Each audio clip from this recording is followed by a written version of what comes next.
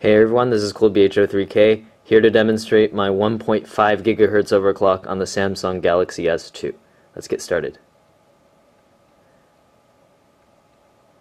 So as you can see here, in SetCPU we can drag this up to 1.5 gigahertz and set it to performance mode so it stays at 1.5 gigahertz.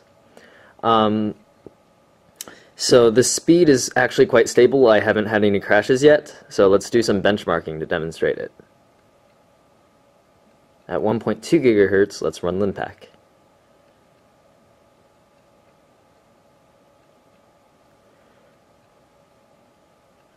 So we got around 40 that run, 45.8, 47.2. It peaks at around 47 to 48 megaflops in Linpack at 1.2 gigahertz. So in SetCPU, if we drag this to 1.5 gigahertz, we'll see a substantial increase in Linpack, hopefully. 54, 58. We peak around 58 to 59 megaflops. So that's quite a substantial increase. That's around 11 points. 10 or 11 points. 59.079. In Quadrant, we do get quite impressive results at 1.5 gigahertz, but let's try it at 1.2 first.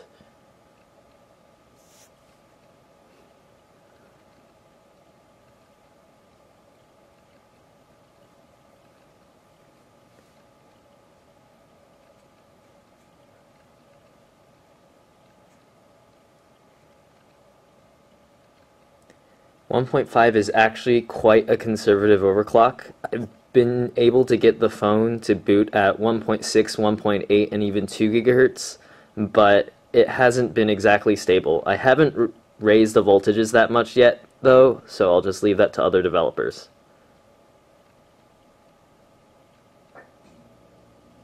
I will be posting the source and the binaries in the description so you can flash it to your own phone or if you're a developer try to change it and try for higher overclocks or implement this into your own kernel. So at 1.2 gigahertz, we are seeing about 2896 in quadrant, which is actually kind of low for 1.2. It's probably a low run. Let's do that again. Whoops. Quadrant.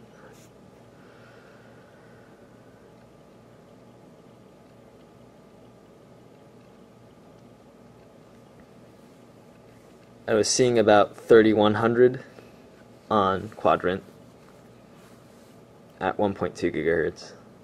So let's test again.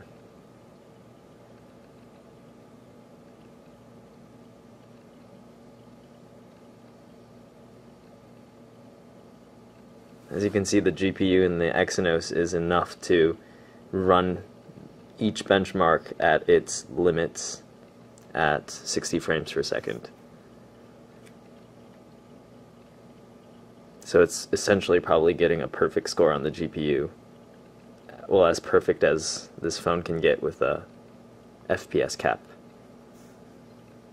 So that's more like it. 3106. I don't know if you can see this very well, but that's a good run for 1.2 gigahertz. Let's switch to 1.5 gigahertz and try.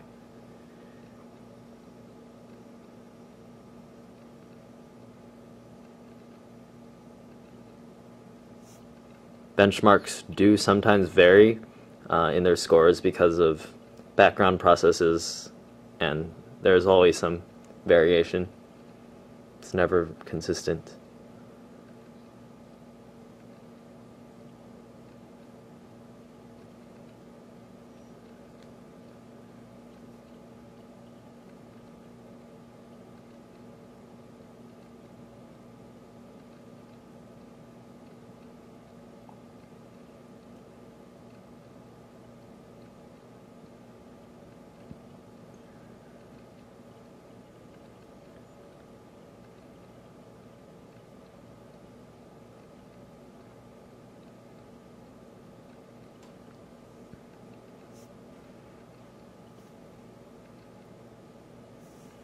So at 1.5 gigahertz, I'm seeing 3913. I don't see if it's probably not very focusable.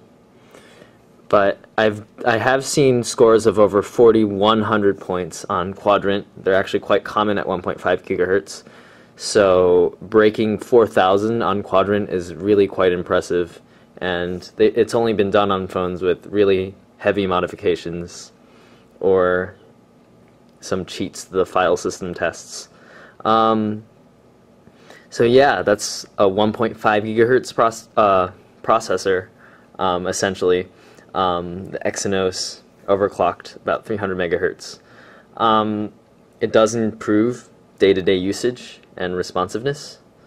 Um, so I have, again, posted the binaries and the kernel source code in the description. So go ahead and grab that if you have a Samsung Galaxy S2. Um, thanks for watching, guys. See you next time.